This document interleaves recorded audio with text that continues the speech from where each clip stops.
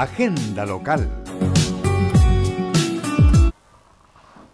Muy buenas tardes amigos, nos encontramos nuevamente como todos los días lunes a las 5 o 6 de, la tarde eh, para conversar eh, de agenda local. Hoy día vamos a conversar un tema súper importante, es un tema absolutamente ciudadano que está contingente y que es un tema absolutamente eh, grave si no prestamos la atención que corresponde.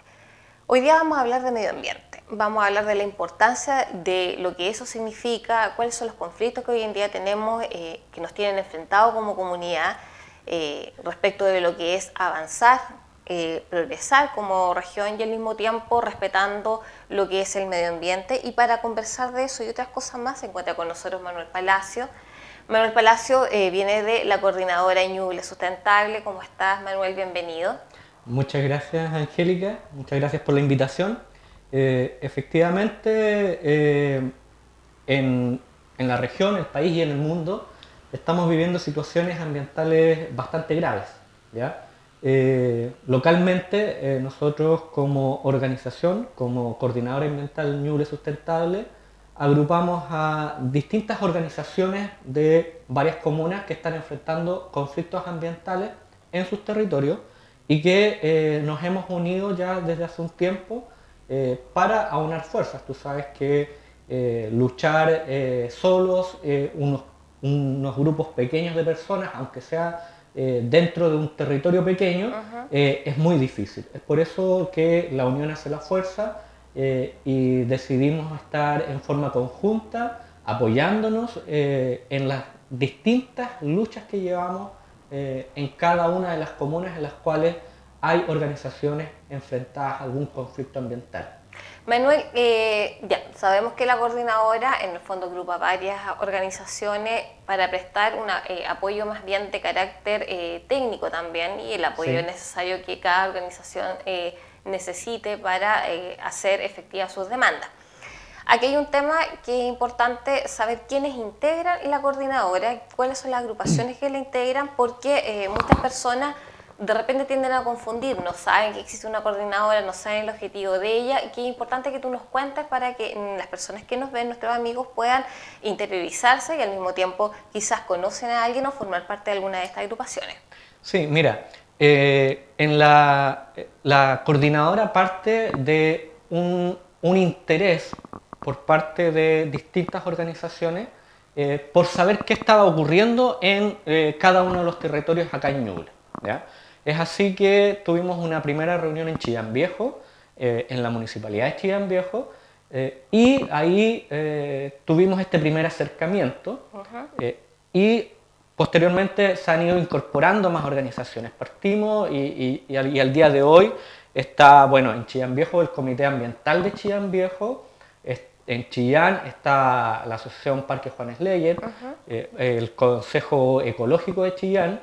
Eh, también tenemos eh, organizaciones de BUNES, que BUNES y termoeléctrica, PEMUCO sin termo, la de, de Cosquecura, todos somos Cosquecura, la gente de San Fabián, que enfrenta más de un conflicto ambiental con el tema hidroeléctrico, la gente de Punilla, eh, también está la gente de, eh, Pinto, eh, y así se han ido uniendo distintas organizaciones que cada una enfrenta distintos conflictos y que, claro, se dice, muchas veces se nos critica como organizaciones ambientales que, claro, nosotros nos oponemos a todo. No, no es así.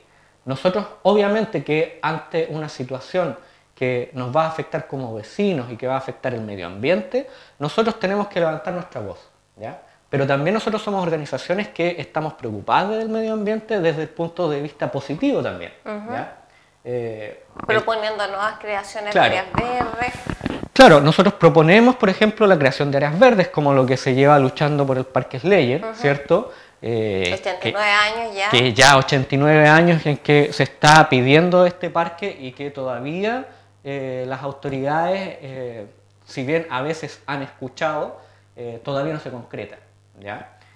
y así también la idea es ir incorporando campañas que sean en, un corte positivo, de decir, vamos mejorando la situación ambiental que tenemos en la región, en cada una de las comunas, cómo eh, tenemos un diagnóstico de lo que está pasando en cada uno de los territorios y qué podemos hacer nosotros como vecinos para poder aportar.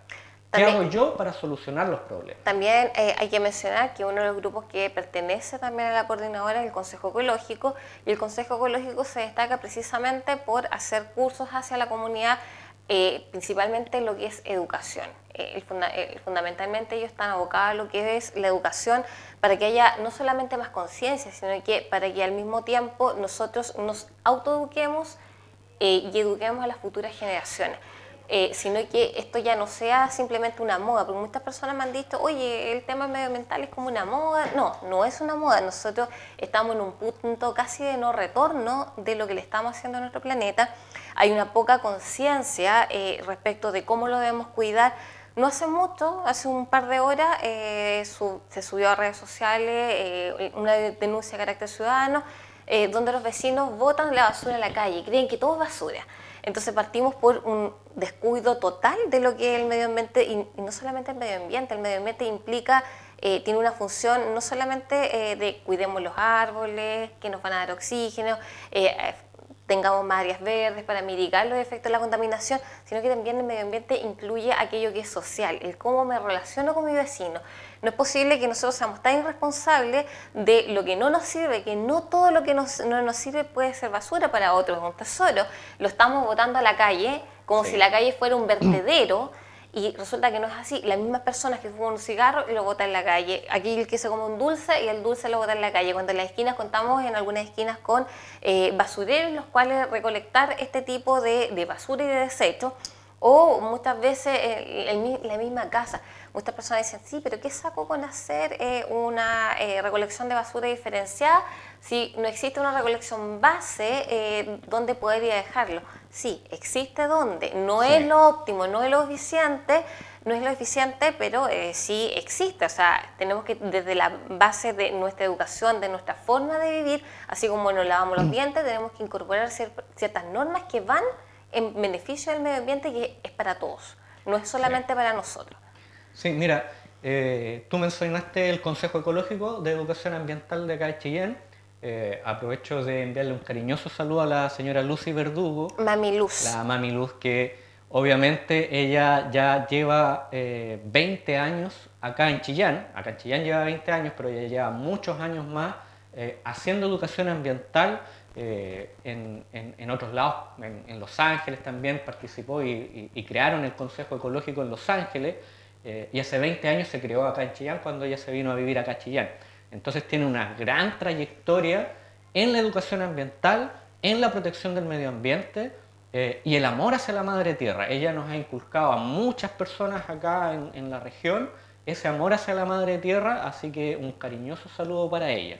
Hay que recordar también que ha sido muy premiada, no solamente eh, acá, sino que ha sido premiada, eh, su trabajo ha tenido un reconocimiento a nivel nacional, eh, que es importante, tenemos un lujo de personas que se dedica al cuidado del medio ambiente, que vive de manera absolutamente ambiental en el buen sentido y no se le da el espacio de repente a las personas que necesitan. Ella lleva 20 años.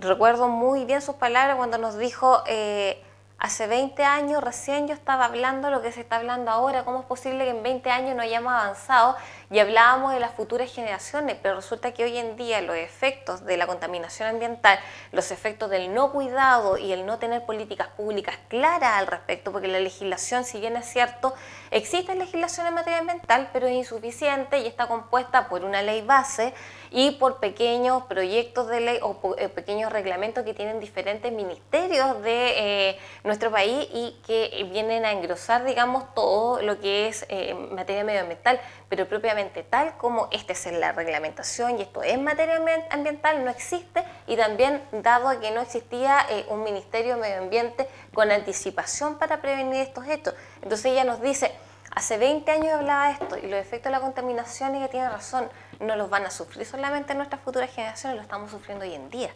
Sí, ahí eh, nos tenemos que dar cuenta que ese discurso que todos teníamos hace un par de años atrás, de qué mundo le estamos dejando a las nuevas generaciones, eh, ese discurso ya lo tenemos que cambiar, ya quedó obsoleto.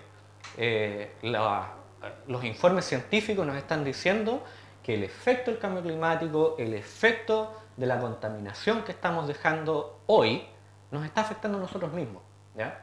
¿ya? no solamente tenemos que pensar en nuestros nietos, en las futuras generaciones. ¿ya? Estamos diciendo que si no cambiamos la forma de desarrollo, de consumo que estamos haciendo hoy día, eh, los efectos los estamos viviendo ya hoy y de aquí a dos, tres años más eh, podemos llegar a un ciclo de no retorno, a un punto de no retorno en el cual ya eh, los esfuerzos que se hagan podrían ser o muy caros, pero que van a ser necesarios sí o sí hacerlo.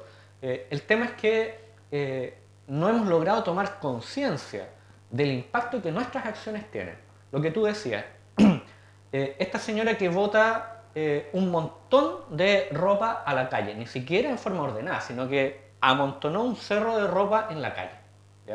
Eso es una muestra de una falta de respeto hacia sus propios vecinos. O sea, si aquí estamos hablando, bien, si la ropa estaba limpia, a lo mejor, bueno, que, las excusas que quiera tener, pero una falta de respeto a sus, propios vecinos, a la gente que va pasando por la calle, y el no tener conciencia.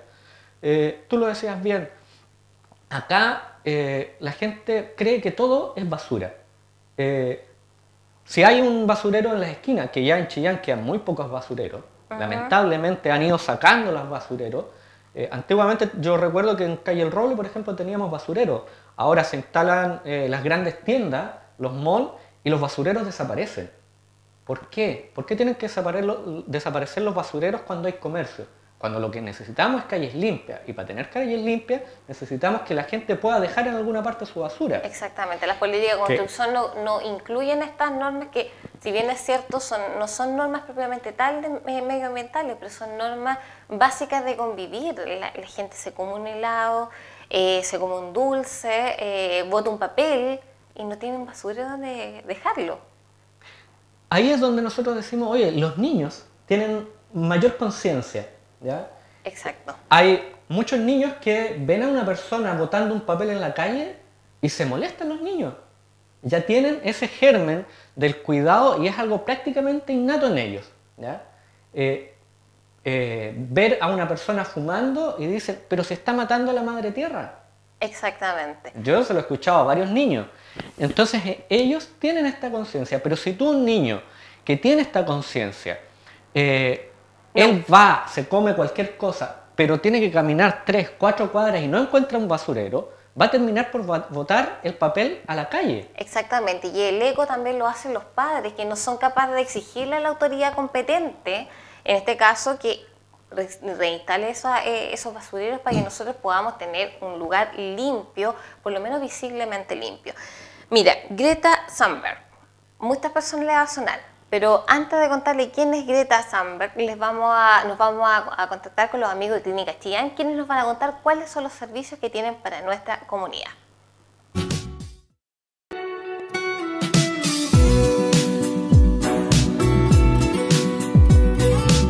Agenda local.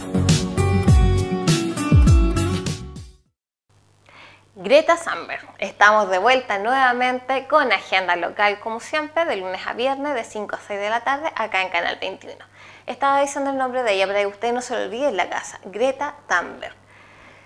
Ella es una activista que tiene 16, 16 años, una nueva generación sueca. Ella habló ante el Comité de la ONU y de un discurso que fue un discurso que realmente eh, e, emocionó y dijo cosas súper importantes. Dijo que no quiero que eh, estés tranquilo, no quiero que entren eh, en, no quiero que estén tranquilos haciendo las cosas. En el fondo quiero que les dé pánico, como me da pánico a mí, de lo que está pasando y lo que están haciendo.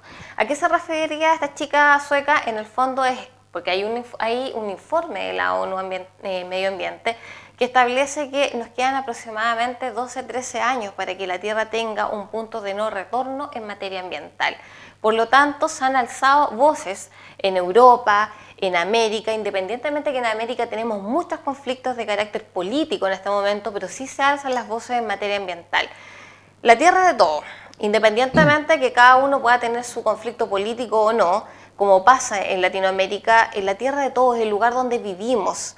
Y existe este informe que dice que en aproximadamente 12 a 13 años más va a haber un punto de no retorno en materia ambiental.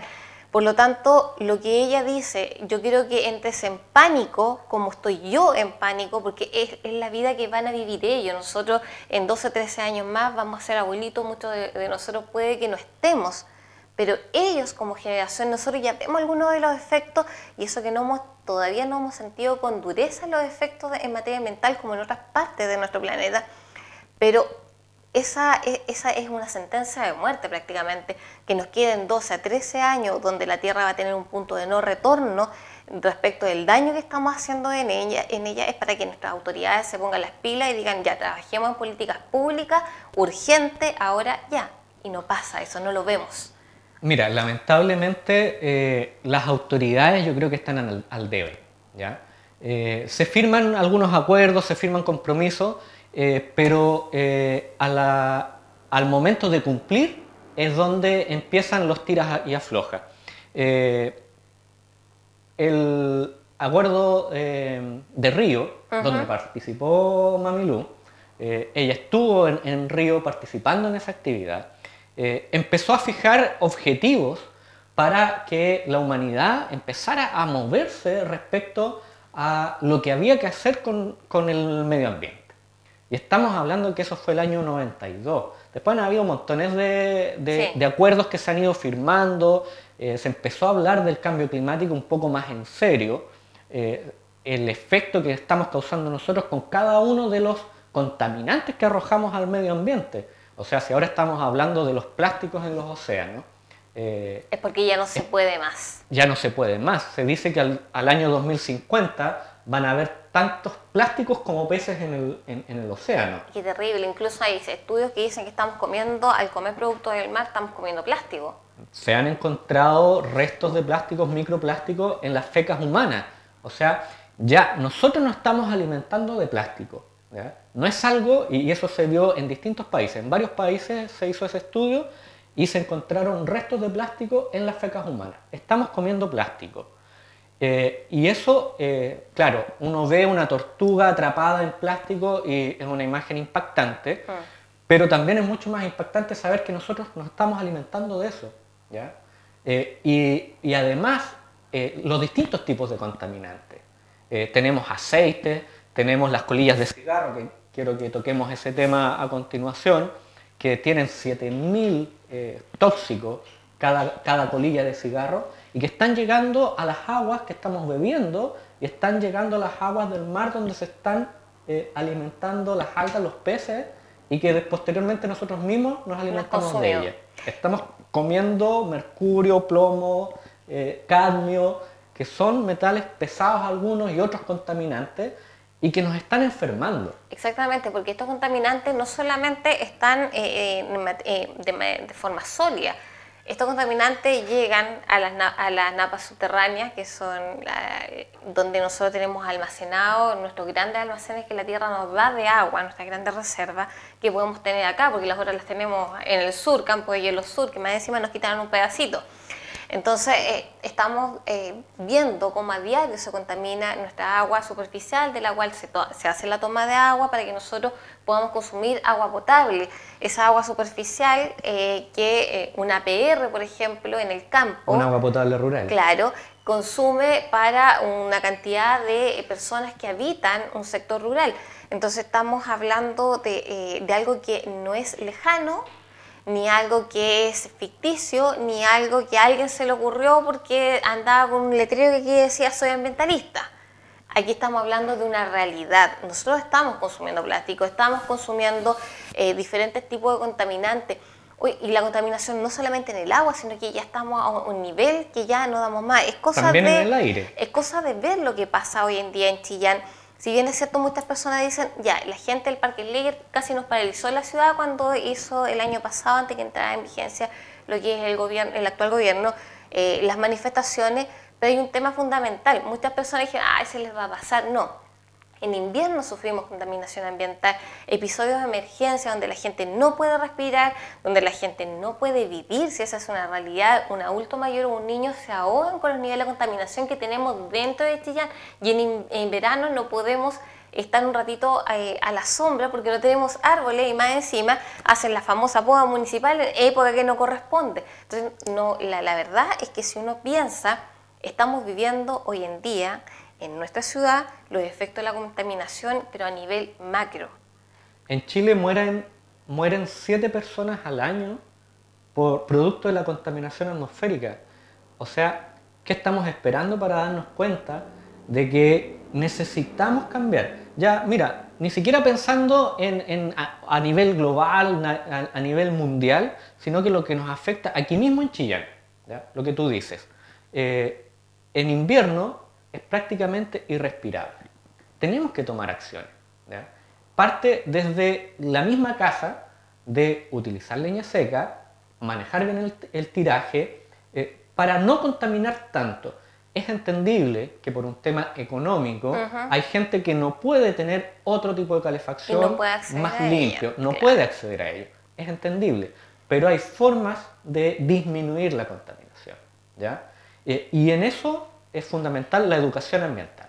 Eh, en las distintas organizaciones que conformamos en la coordinadora ambiental, en una reunión que tuvimos en Cofquecura, eh, ahí hubo un acuerdo en que en cada una de las acciones que eh, se hicieran por las distintas organizaciones eh, tenían que ir acompañadas de educación ambiental, porque eso es la base, esa es la manera que vamos a tener para poder ir cambiando la mentalidad de la gente. Eh, y eso también se le pide a las autoridades, a los colegios, para tener un impacto. Nosotros no podemos hacer una acción aislada, como por ejemplo una limpieza de playa, claro. que son muy necesarias, pero la idea es llegar a un momento en que no necesitemos limpiar las playas porque la gente no la va a contaminar. Eso se va a lograr solamente cuando haya una educación ambiental eficiente, efectiva y en el largo plazo. Pero hay que partir, hay que partir desde ya. Eh, la Mamiluz partió hace 20 años acá en Chillán, pero necesitamos que esto se masifique. En los colegios, eh, muchos de ellos tienen certificación ambiental, eh, por parte del Ministerio del Medio Ambiente, pero ¿cuál es el impacto que esto ha tenido? Los niños, sí, tienen mayor conciencia que muchos de los adultos, pero, como te decía, si no se les dan las oportunidades para que ellos mantengan esa conciencia ambiental, que puedan separar la basura, en el colegio les enseñan a separar la basura, ¿ya? los distintos tipos de residuos, pero si al llegar a la casa no lo pueden hacer, en el tiempo ellos van perdiendo esta costumbre. ¿ya? La idea es que tengamos estas oportunidades. Eh, como te decía, en la Coordinadora Ambiental eh, Ñuble Sustentable también queremos hacer eh, propuestas en positivo, no solamente oponernos a lo que nos están imponiendo las empresas eh, y, eh, y, que no son muy amigables muchas de ellas, ni con el medio ambiente ni con los vecinos, sino que también nosotros queremos decir, bueno, ¿cuáles son las alternativas para tener un ambiente mejor? ¿Ya? Y ahí es donde, por ejemplo, lo que tú mencionabas de esta persona que botó la, la ropa a la calle. Eh, es fundamental poder decir que la basura no existe. ¿ya? La basura en la naturaleza no existe. Todo se recicla en forma natural. ¿ya? Nosotros, por una mala práctica, hemos generado basura. Pero si nosotros empezamos a analizar cuáles son cada una de las cosas que nosotros votamos y que se va al vertedero, que se va al relleno, nosotros podemos decir, bueno, la materia orgánica, que es la mitad de la basura, uh -huh. si en Chile eh, cada habitante produce aproximadamente un kilo de basura al día, medio kilo son desechos orgánicos. Eso es materia que salió, vegetación, animales que salieron de la naturaleza y que pueden volver a la naturaleza a través del compost, del humus, a través de biodigestores y que pueden volver a un ciclo natural y que nuevamente van a permitir mejorar los suelos para que la vegetación, los, las plantas que ahí hay puedan aprovechar mejor los nutrientes, ¿cierto? Producir mejores vegetales, mejor fruta, eh, más sana, ¿cierto? Y que vuelve al ciclo natural. ¿ya? Pero si vemos el resto, el 50% restante, tenemos por lo general plásticos, que los plásticos, si bien son grandes contaminantes, si nosotros los reciclamos, vuelven a generar otro tipo de, nuevamente a ser plástico que podemos utilizar. Eh, las pilas actualmente en Chile no se reciclan, son altamente contaminantes. No tienen que ser botadas con, la basura normal, ¿ya? tienen que ser separadas y acá en Chillán hay puntos donde dejar las pilas. La gente tiene que tener conciencia de que hay lugares donde dejar las pilas. Y eso, como no se recicla acá en Chile, ¿qué es lo que hay que hacer? Tomar esa pila, eh, inertizarla que se llama, que es colocarla en, en contenedores que se van a un relleno industrial y ahí se sellan. Y entonces vamos acumulando y acumulando y acumulando residuos tóxicos en estos rellenos industriales. En otros países las pilas se reciclan. En Argentina, por ejemplo, las pilas se reciclan. Eh, no en forma masiva, en, forma experimental, pero se puede hacer. ¿Ya? El vidrio, el vidrio es otro ejemplo. Tú prácticamente el vidrio, tú de una botella de vidrio puedes al reciclarla obtener otra botella de vidrio. El reciclaje es prácticamente el 100%. ¿ya? Lo mismo que las latas de aluminio. Y si así empezamos a analizar todas las cosas que nosotros botamos en la basura, nosotros podemos ver que la mayoría, casi todas, son reciclables. ¿ya? Y hay un tema fundamental que eh, nosotros quizás podemos enseñar, eh, pero tal como tú decías, los niños llegan a su casa, no tienen esta posibilidad y aparte de eso, hay, hay, un tema fundamental que hoy en día no existen políticas de carácter público que se preocupe este tema. En otros países, la basura es un negocio. Es un negocio pero altamente lucrativo para las empresas que se dedican al reciclaje y que se dedican al reciclaje casi en un 100% de productos desechados. Pero acá en Chile todavía no lo vemos como un negocio. No, no se ha podido implementar, generar la posibilidad de que pueda ser un negocio que va, a generar una economía circular, si todo tiene que volver a girar a un mismo punto. y, ahí hablamos otro tema. La economía circular va de la mano con lo que es el reciclaje y con, el, con lo que es vivir en un medio ambiente libre de contaminación, que es el ideal para poder desarrollarnos. Mira, en, eh, yo difiero lo que, de lo que tú dices en el sentido de que en Chile la basura es un tremendo negocio. Mueve miles de millones de pesos y millones de dólares. Eh, hay grandes consorcios detrás del negocio de la basura. Aquí eh, hay casos de, municipios que están involucrados en corrupción, pero de miles de millones de pesos, por el negocio de la basura. la basura es un negocio. Correcto. Lo que en este momento no se está viendo como gran negocio es el tema de la economía circular, del reciclaje, y se está avanzando lentamente, lamentablemente, muy lentamente, hacia eh, el poder consolidar el tema del reciclaje. Eso a través de la ley REP, responsabilidad extendida del productor, en que eh, a las empresas que producen o importan ciertos tipos de productos se tienen que hacer caso, eh, cargo de todo el ciclo del producto. Entonces ellos importan, por ejemplo, eh, pilas, que es uno de los tipos de, productos que está en esta ley REP como, como productos prioritarios. Eh, supongamos que importan 100.000 pilas, por dar un número cerrado, eh, ellos tienen que hacerse cargo de la disposición final de 100.000 pilas. ¿ya? Como te decía, en Chile no se reciclan las pilas, pero sí se tienen que disponer de forma adecuada. Otro ejemplo son los neumáticos. Si una empresa importa un millón de neumáticos, al año se tiene que hacer cargo de un millón de neumáticos que tienen que ser reciclados al año. Esto va a ser en forma gradual, no va a ser el 100% inmediatamente.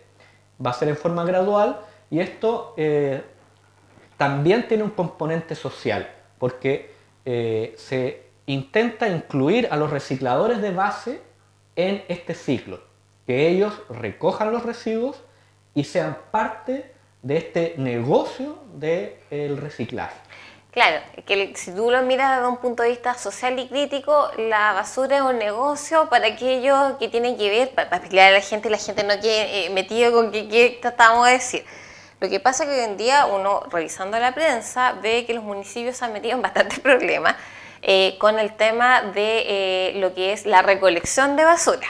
Y disposición. Y disposición de ella, que ahí es donde hay un negocio que la verdad eh, para mí no es un negocio de la basura, este es un negocio de acciones, de malas acciones de personas donde la basura se ve eh, como eh, hay una necesidad que hay que ayudarle a las personas a, salir de, que tiene que salir de su, domicilio. Pero la basura en sí, desde el punto de vista del reciclaje, es un tremendo negocio que nosotros en Chile por alguna razón no lo vemos y están obligadas ciertas empresas grandes con productos que son de carácter prioritario, de acuerdo a lo que tú nos estás explicando, que están obligadas a eh, hacerse cargo de su basura pero propiamente tal la basura como negocio no lo es. Lo que pasa es que se ha intentado hacer un negocio en el cual se han, visto muchos municipios en muchos problemas, y esto es una mafia en algunas partes, precisamente con lo que tiene que ver con la recolección de basura desde el punto de vista del camioncito que pasa por su casa recogiendo la basura. Es ahí, digamos, un mal negocio pero propiamente tal, la basura como negocio, como negocio sustentable que tiene que ver con la economía circular, aquí en Chile estamos en pañales. Sí, ahí es donde tenemos que cambiar el concepto, eh, lo que te decía yo. La basura no existe. Tenemos que empezar a hablar de los residuos. Porque, como te decía, casi, eh, casi todo lo que nosotros votamos puede ser reciclado. Hay gente que está en la línea Basura Cero. Eh, hay una fundación Basura Cero acá en Chile, hay un movimiento internacional Basura Cero.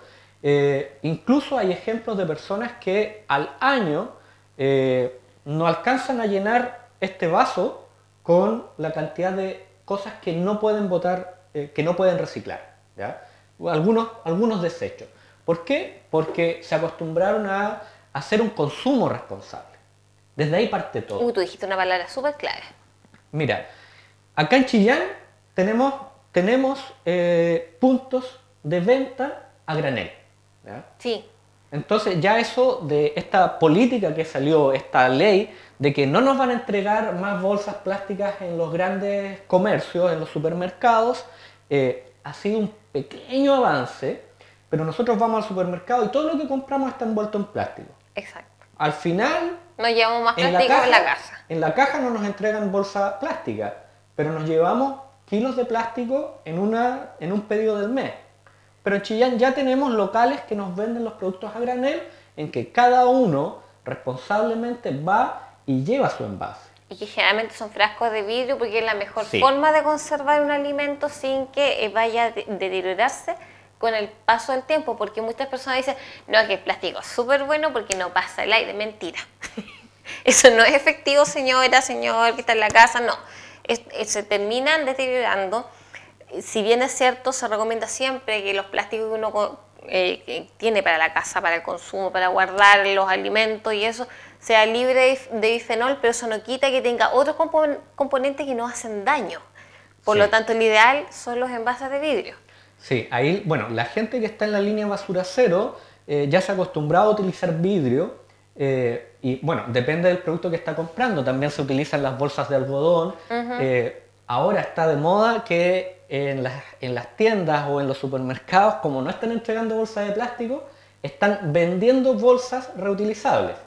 Pero ahí también, aparte del gran negocio para los supermercados, que fue no tener que comprar bolsas para entregarle a sus clientes, y ahora le están vendiendo bolsas. Este negocio redondo. Negocio redondo. Y me decimos, nosotros pecamos como ciudadanos andar mm, promocionando la marca por todo el centro. Sí, pero además hay que tener en cuenta que caemos en algo que hasta el momento no muchos se han dado cuenta, de que la bolsa que nos están entregando, la mayoría son bolsas plásticas.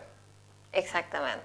Claro, un plástico más durable, más resistente, eh, que, podemos, que podemos reutilizar, cuando la idea era decir, oye, dejemos de utilizar bolsas plásticas y utilicemos bolsas reutilizables, pero de algodón, de cáñamo, la típica pilgua que ya dejamos de utilizar hace muchos años. Ay, yo ya tengo. Que sería muy bueno que volviera al mercado. Sí. Sí, volvamos a utilizar la pilgua. Eh, hay ciudades en que está volviendo el canasto para ir a hacer las compras, el canasto de mimbre para ir a hacer las compras. Eh, entonces tenemos alternativas. Y tenemos que avanzar hacia alternativas más sustentables porque la bolsa de plástico eh, fue un primer paso, pero un paso muy pequeño.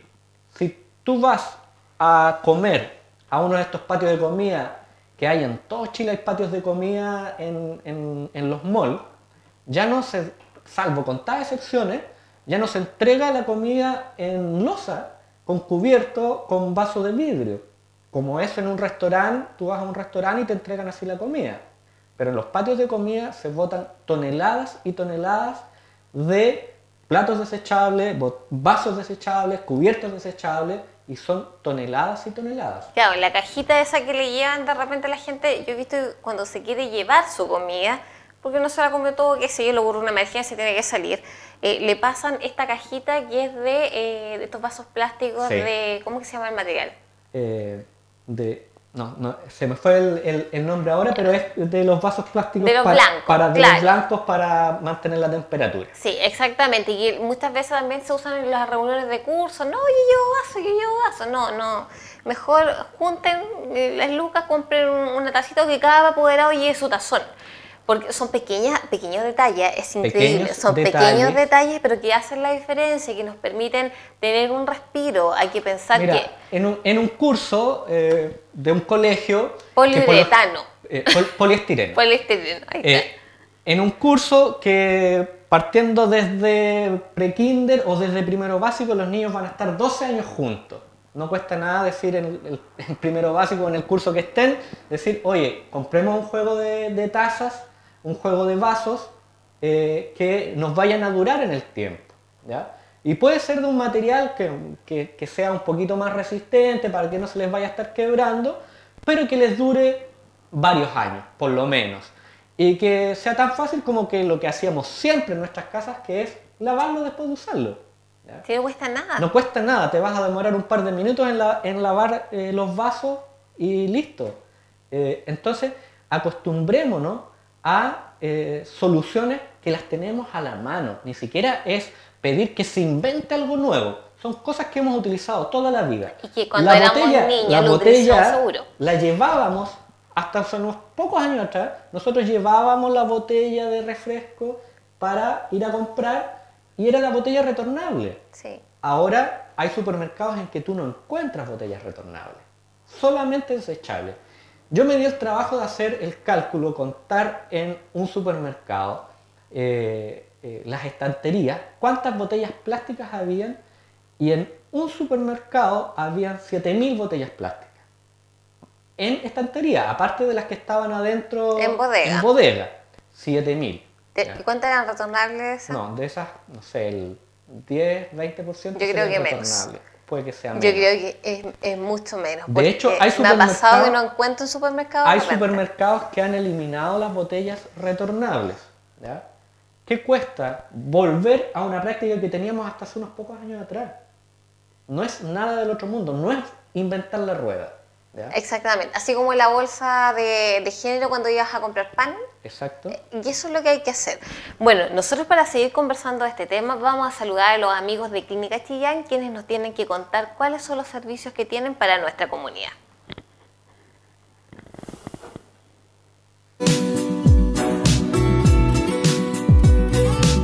Agenda local. Y estamos de vuelta nuevamente en Agenda Local, como todos los días de lunes a viernes de 5 a 6 de la tarde acá en Canal 21. Estamos conversando sobre medio ambiente, sobre las diferentes cosas que hace el Consejo Ecológico, eh, que hace también las diferentes agrupaciones, el Parque Juanes Ley, el Comité Ambiental de Chillán Viejo, entre otras, que conforman la coordinadora Ñuble Sustentable. Para eso estamos con nuestro amigo Manuel Palacio, quien ahora nos va a relatar sobre una de las campañas que, eh, que vamos a realizar más adelante y que vamos a mostrar las imágenes de apoyos que tenemos.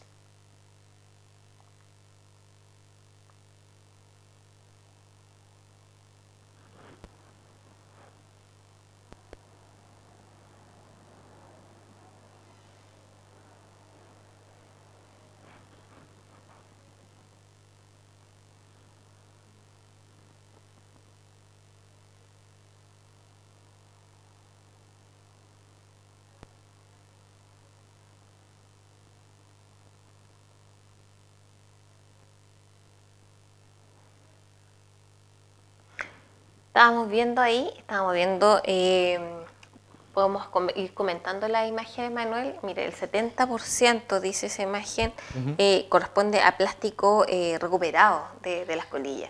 Sí, lo que pasa es que las colillas de cigarro tienen alta, alta cantidad de, de contaminantes tóxicos que afectan al medio ambiente, obviamente, y que son muy peligrosos. pero eh, la gran parte eh, de, la, de, la, colilla es plástico.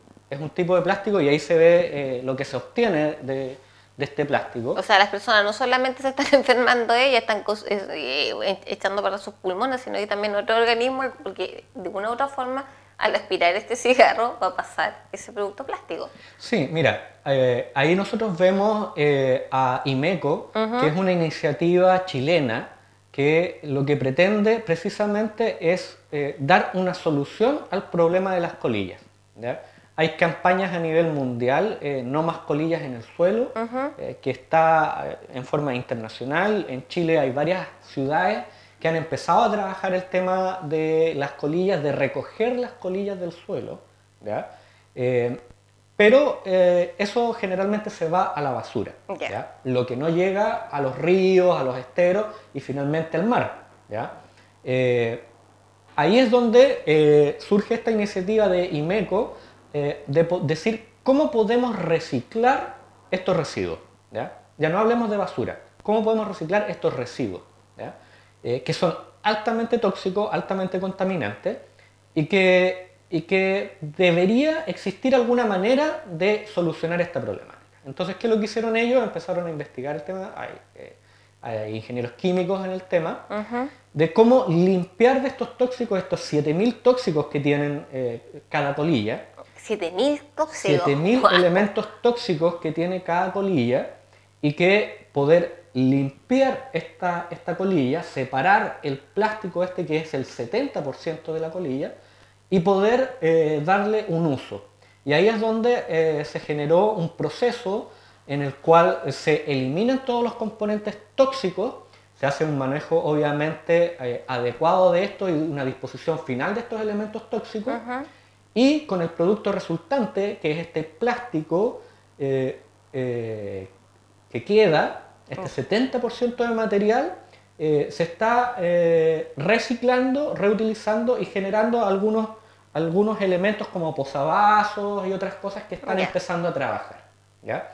¿Cuál es la idea? Y ahí, ahí dice, eh, Imerco tiene una alianza con Plastic Oceans, que es una organización internacional, y con Endémico, una revista chilena, un medio chileno, para poder difundir esto y empezar a trabajar. Ya hay eh, algunas municipalidades que han eh, hecho un convenio con IMECO para hacer, eh, han hecho esta alianza para hacer el reciclaje de las colillas. Por ejemplo, en Pucón, la municipalidad ya firmó un convenio con IMECO, hay algunas empresas que también apoyan esta, esta causa, entonces lo que se hace es se colocan dispensadores en los cuales la gente puede en las calles está fumando y apaga su cigarro en la parte superior de este dispensador y echa la colilla adentro y tiene una capacidad de aproximadamente 1400, 1500 colillas ese envase. Una vez que eh, se llena, eh, la municipalidad se encarga de eh, desocupar ese contenedor y después enviarlo a Valparaíso, a Viña del Mar, donde se hace el reciclaje de estos productos. ¿ya? en, en Santiago, eh, algunas empresas han financiado que, por ejemplo, una empresa financia una, dos cuadras en las cuales se colocan estos dispensadores, estos recipientes. Eh, obviamente va con el logo de la empresa que lo financió, ¿cierto? Eh, y la gente va llenando estos contenedores y va a reciclar. Podemos decir que en las actividades de limpieza de playa, por ejemplo, el 40% de los residuos son colillas de cigarro. Hace poco Coquicura, los chicos de Todos Somos Coquicura tuvieron una limpieza de playa y era impresionante cómo mostraban las imágenes eh, a los que estamos vinculados al movimiento, eh, cómo iban subiendo las imágenes eh, a las diferentes plataformas de redes sociales y, y en los grupos de WhatsApp donde las colillas de cigarro realmente eh, es eh, mayoritariamente lo que estaban, eh, aparte del plástico, previamente tal. Sí, mira, cuando venía para acá, para el canal, hice el ejercicio simple de contar cuántas colillas, con cuántas colillas me cruzaba en una cuadra. ¿ya? Después de 80 colillas perdí la cuenta. Y solamente donde tenía la visual, o sea, hacia cada lado menos de un metro. ¿ya? entonces no conté todo. ¿ya? Entonces en una cuadra eh, yo me topé con aproximadamente 100 colillas, ¿ya? Y había muchas más porque no tenía toda la visual de la cuadra. Exactamente. Bueno, tú hiciste ese ejercicio, yo hago otro que es peor, que reto a la gente que veo fumando y me da la misma. me está contaminando el espacio que estoy respirando. Bueno, ahí es donde está la responsabilidad de la gente y cada vez, cada vez se le está restringiendo más el espacio a los fumadores. ¿ya? Recordemos que hace años atrás uno se subía a una micro y la gente iba fumando. Oh, qué pero sí, sí Se subía en colectivo, en un espacio reducido, iban cinco personas y iba, pero lleno de humo el colectivo. Ibas a comer en un restaurante y estaban fumando al lado tuyo, que tú ibas con tus niños, con tu familia, y la gente fumaba sin ninguna responsabilidad. Ahí, ahí, por suerte, se ha ido tomando conciencia. Porque ya eh, si una persona fuma en un bus, por ejemplo, aunque sea escondida, si alguien lo siente, lo va a retar. Exacto. Porque ya tomamos conciencia de que eso nos hace mal. No solamente al que fuma, sino que al que está al lado. Exacto. Por eso yo reclamo. Gente que ha muerto de cáncer. Con solo ser fumado pasivo. Claro. Un cigarro, pero que convivía en la oficina, en la casa, con fumadores habituales y está ahí respirando el humo todo el día. Por lo mismo, yo cuando reto a la gente, por favor, aunque se molesten, eh, no es de intrusa, no es de... No, la verdad es que me molesta porque cuando fuman pasan y te dejan la estela con humo que tú no tienes por qué respirar ni aguantar una situación así. Por lo tanto, yo no solamente lo, hago yo, lo he visto en otras personas. De repente tú cerca de los jardines, les da la misma, fuman, pero ese humo se mete por las ventanas de los jardines, está en contacto con los niños. Entonces, por último, ya que va a ser, ya que ibas a fumar, porque muchas personas me dicen, quíteme, y bueno, no importa, me meto igual. Eh, hay muchas personas que dicen que, Ay, es que usted se pone difícil, ya, está bien, fuma, enférmate, trata de no molestar a los demás con el humo de tu cigarro, pero ser responsable con ese residuo que es la colilla y déjalo en tal parte. Mira, ahí es donde nosotros queremos como coordinadora ambiental y sustentable eh, iniciar esta campaña acá en la región. Eh, nos gustaría, como te decía, ya hay algunas comunas, eh, Pucón por ejemplo, en Santiago Centro, eh, que han iniciado estas campañas. A mí me gustaría personalmente que a nivel de Ñuble dijéramos que fuéramos la primera región libre de colillas de cigarro en el piso, de poder iniciar una campaña de reciclaje de colillas a nivel regional. Y para eso, ¿qué, ¿qué es lo que pedimos? Yo te nombré eh, las distintas comunas en las cuales tenemos presencia como coordinadora ambiental eh, y nos gustaría que en cada una de estas comunas y también invitar a personas que están interesadas en el cuidado del medio ambiente en toda la región que eh, se sumen a esta campaña y que puedan hacer actividades en cada una de las comunas en las cuales se haga educación ambiental, se genere conciencia, se hagan campañas de limpieza eh, limpieza de playas, limpieza de, de, plazas, eh, para que se vaya generando esta conciencia. Un llamado también a los municipios que puedan hacer este, este convenio, esta firma eh, con, con, INMECO para el reciclaje de las colillas. Y también a las empresas. En las empresas muchas veces hay un espacio para que sus trabajadores puedan fumar. ¿ya? Invitarlos también a que las colillas que se recojan en las empresas también sean, eh, no sé, una vez al mes, eh, que se almacenen y que una vez al mes se envíen a reciclaje y que también, por ejemplo, una empresa pueda apadrinar un sector o una comuna en la cual ellos se hagan cargo del envío, por ejemplo, del costo de envío de, eh, de estas colillas. Así es, ya saben amigos, a trabajar en comunidad y cooperándonos unos con otros. Tirón de oreja para las municipalidades que permiten y que vemos en sus suelos colillas de cigarro. Yo sé, me van a decir, no, pero es que no podemos disponer de todo el personal, porque tú sabes que cuando uno reclama algo te dicen al tiro una respuesta, que no, podemos, no disponemos de personal suficiente, que no hay recursos para esto, no hay recursos para esto otro. Entonces, eduquemos a la gente. Si eso es lo que Sí. tenemos que hacer, eduquemos a las personas. Eh, gente dispuesta a ayudarles en eso, hay. Está la coordinadora que cuenta con diferentes movimientos y en cada uno de esos movimientos hay profesionales que están eh, dis- disponibles para hacer este tipo de trabajo. Eh, si quieren eh, estar libres de colillas del suelo, porque ya vemos muchos que reclamamos por este tema, sí, vamos a seguir reclamando hasta que se haga algo. No los vamos a dejar descansar hasta que se haga algo. Está la posibilidad de hacer un reciclaje, un operativo reciclaje de colillas de cigarro. Pónganse en contacto. con- eh, está esta empresa, se pueden poner en contacto con la coordinadora para hacer eh, eh, posible esto y todo va y vale para todas las comunas de nuestra región. Sí. Así que eh, tirando oreja y atención a nuestras autoridades, tienen que hacerlo. Y ustedes como ciudadanos que les interesa este tema, que les interesa que tengamos un lugar libre, dime que no va a ser rico ir a un parque a disfrutar con tu familia, con tus niños, con tus mascotas y que no haya un cigarro, que tu chiquitito no agarre y diga, ¿qué es lo que es esto, mamá? Sí, mira, lo mismo que te decía hace un rato ah, respecto a los basureros. ¿ya? Si no tienen, obviamente, si la gente no tiene dónde botar la colilla de cigarro, Claro. la va a botar al piso. ¿ya?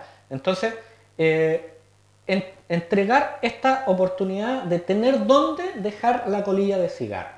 ¿ya? Eh, y, y eso, eh, como te decía, en Santiago Centro, una empresa financió estos contenedores, puso dos, tres contenedores por cuadra, y la gente al ver estos recipientes, los letreritos que, que decían deje aquí su colilla, la gente los empezó a utilizar. En algunas playas, eh, hay imágenes en que algunas playas donde está este letrero de playa no apta para el baño, Sí. o bienvenidos a tal playa, eh, hay gente que de iniciativa propia colgó tarros Sí, Tarros. sí lo he visto. de café, de lo que sea, eh, diciendo que se lo lleve a la playa y que vuelva con todas las colillas que se fumó durante su estadía para que no las deje en la playa. Otra iniciativa que me gustó mucho es que tú en un, restaurante, en, un local donde venden jugo, tú te llevas tu vaso, te tomas el jugo y si tú vuelves ah, más tarde con el vaso lleno de, de colillas que tú recogiste en la playa, este restaurante te regala otro vaso de jugo. Lo te cambian sí. un vaso de colillas de cigarro por, un, vaso, de jugo en forma gratuita. Entonces hay distintas maneras, distintas iniciativas de cómo empezar a generar este cambio de conciencia eh, y que nos va a permitir tener un ambiente eh, más limpio, eh, más sano. Oye, como dices tú, no va a ser mucho más agradable estar en una playa en la cual no encontramos ni colillas de plástico, ni cáscaras de sandía, ni de melón, ni bombillas. eh, todo el tipo de basura que nos encontramos en la playa, en un parque, en una plaza. eh, entonces no, no será mucho más agradable estar en un ambiente limpio.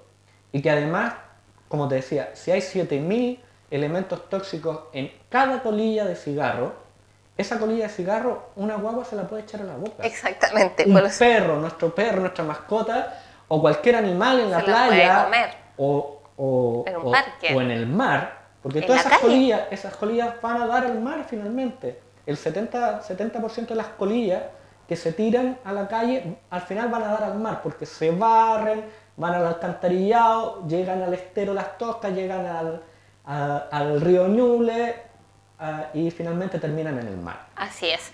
Así que ya saben amigos, pongamos las pilas, pongamos las pilas con nuestro medio ambiente. Si quieren comunicarse con la gente de la coordinadora Ñuble Sustentable, ¿nos das tu teléfono, Manuel? Sí, el 9 95 97 38 70. Y les voy a dar el mío también, 921-09-066. Si nos quieren llamar para ponerse en contacto, para tener más información al respecto, les vamos a atender amablemente. Lamentablemente nuestro programa ha terminado. Nos falta mucho tema en materia medioambiental, nos falta mucho que crecer. Manuel, te vamos a invitar en otra oportunidad para conversar sobre esto y muchos temas más. Muchas gracias por haber venido a Agenda Local. Muchas gracias por la invitación. Como bien dices, eh, hay muchos temas que conversar. Eh, acá en Ñuble tenemos muchas problemáticas ambientales que son necesarias abordar, así como esta campaña del reciclaje de colillas que, como decía, tenemos que inici- iniciar actividades en positivo. Cómo nosotros tenemos un impacto positivo y cambiamos la forma de hacer las cosas para tener un mejor medio ambiente. La Coordinadora Ambiental Nivel Sustentable también participa en una campaña a nivel nacional en la cual estamos eh, proponiendo una ley de arbolado urbano para tener, eh, como tú decías, en invierno eh, poder limpiar estos aires contaminados y también en verano gozar de una sombra, ¿cierto? Y que cuando venía para acá el camión de la municipalidad estaba recogiendo toda la poda que había hecho en una, en una calle. Y ojo- Ahora en pleno febrero con 30 Exacto. grados de temperatura. Y ojo que lo ha hecho todo el verano de acuerdo a las denuncias ciudadanas que se han subido a diferentes redes sociales. Muchas gracias, Manuel. De nada, encantado. Bueno, nosotros nos despedimos, nos encontramos mañana acá en Agenda Local de las 5 a 6 de la tarde en Canal 21. Chao, chao.